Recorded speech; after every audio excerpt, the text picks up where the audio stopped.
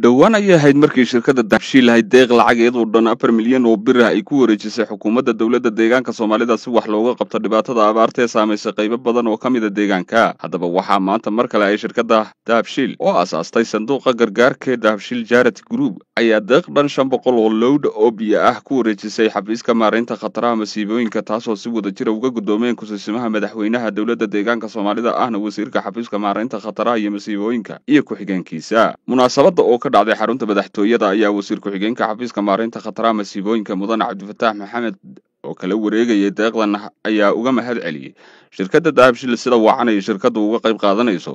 Dadaalka lagu samato bixinaya shacabka abaaraysan ee deegaanka. Runtii waxaan halkan mahad aan la soo koobi karin uga jeedinayaa mas'uuliyiinta iyo shirkadda dahabshiil gaar ahaan dahabshiil charity foundation oo maanta na soo gaadhisay shan boqol oo lowd oo biyo ah horaan waxaan ogeyn inay ku deeqeen lacag afar milyan oo bir ah iyo sidoo kale timir ay noogu deeqeen intiiba dadkii loogu talagalay waan gaadhsiinay. Haddana insha allah waxaan rajeynaynaa inaan maalmahan kooban ee roobka nooga harsan waqtigii u adkaa iyana soo caawiyeen ayna soo gaadheen. Baahidanada ugu badanna biyo ahayd maanta.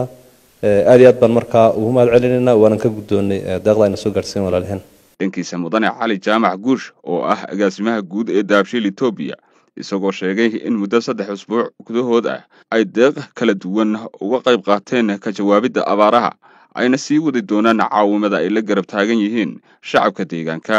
Maanta oo ay taariikhdu tahay tobankii bisha saddexaad labayo labaatanka waxaanu ku wareejinay xafiiska wasiir wasiirka maaraynta masiibooyinka iyo wasiir ku-xigeenka wasiirka oo ah maxay ahayde kusimaha madaxweynaha deeq biyo oo dhan shan boqol oo lowd oo biyo ah taas oo maxay ahayde qeyb ka ah taageerada. Mar walba shirkadda dahabshiil ay la daba taagan tahay ee la daba socoto dadkeeda abaaruhu ay ku dhaceen tani maaha tii koobaad maaha tii labaad maaha tii saddexaad maaha intii bishii hore halkan madaxtooyada waxaanu ku wareejinay mar waxaanu wareejinay maxay ahayday lacag afar milyan ah oo loogu talagalay dadka abaaraha.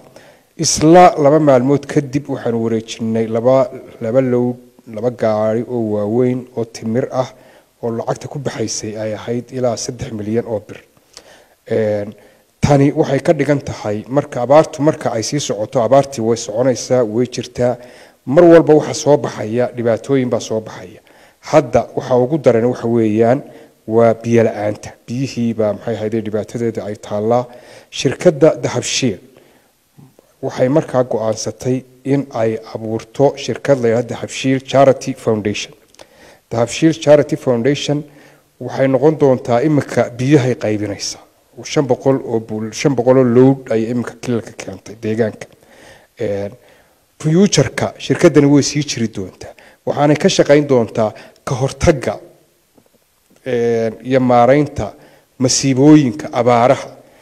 Waxay noqon doontaa hay'ad charity ah oo muddo dheer shaqayn doonta insha allah haddii ilaah ka dhigo waana waana wadaynaa ilaa inta ay abaartu jirto dadka iyaga ka hadhi mayno shirkadda dahabshiil mar walba waxa ay ku shaqaysaa oo istaraatiijiyadeedu tahay in ay dadkeeda wax ku celiso.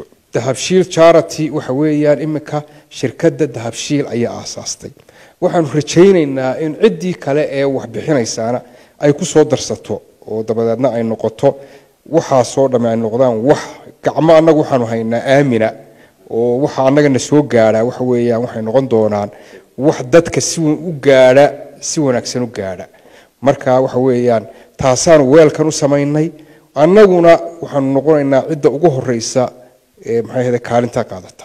Ugu dambayntiina xukuumadda deegaanka shirkadaha gaarka loo leeyahay iyo dhammaanba shacabka deegaanka ayaa wada gurmado ballaadhan oo lagu samato bixinayo bulshada ay abaartu saamaysay